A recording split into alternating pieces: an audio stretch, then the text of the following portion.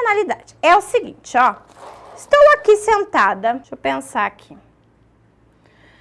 Ah, deixa eu ver, o que, que eu vou fazer amanhã com os meus alunos de EJA?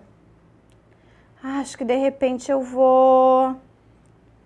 Deixa eu aqui, vou procurar aqui. Vou procurar o que, que eu posso fazer com os meus alunos de EJA. Alfabetização de adultos, jogo. Deixa eu ver o que, que vai aparecer. Alfabetização. Formando palavras. Ah, legal. Ah, vou fazer um jogo de formar palavras.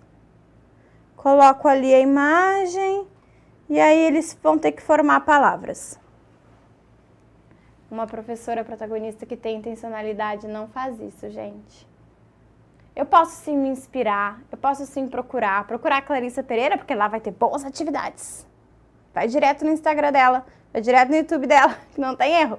Mas, mas, mas, mas, mas, antes de eu ir procurar um jogo qualquer aleatório para os meus alunos, eu tenho que digitar assim, ó. Olha como muda a percepção. Eu tenho a habilidade que está lá no currículo, que a gente está trabalhando, de consciência de rimas e aliterações. Por que é importante as rimas e aliterações? Por que, que é importante?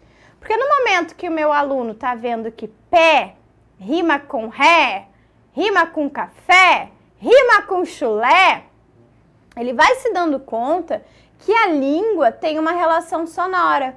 Café, chulé, pé. E se dando conta disso, pode ser que quando ele for escrever, ele faça essa relação.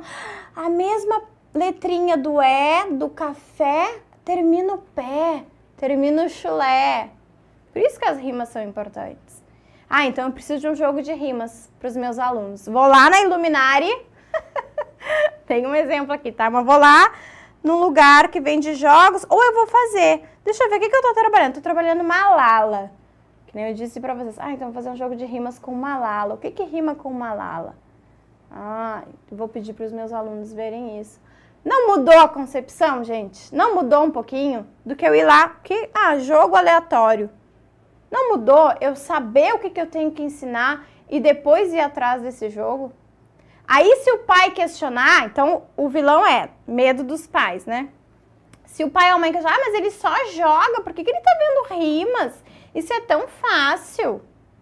Não. Ele tem que ir reconhecendo que a nossa língua é sonora, que ela tem uma reflexão de sistema de escrita. Então, papai, mamãe, vovó, tio, a gente faz tais atividades para que ele possa desenvolver essa habilidade. A nossa última habilidade vai, vai ser reconhecer os sons das letras em diferentes posições. Mas antes, no desenvolvimento dele, ele precisa passar por isso. Por isso, por isso, por isso, por isso. Então, a solução para esse medo é ter conhecimento e intenção. Intencionalidade.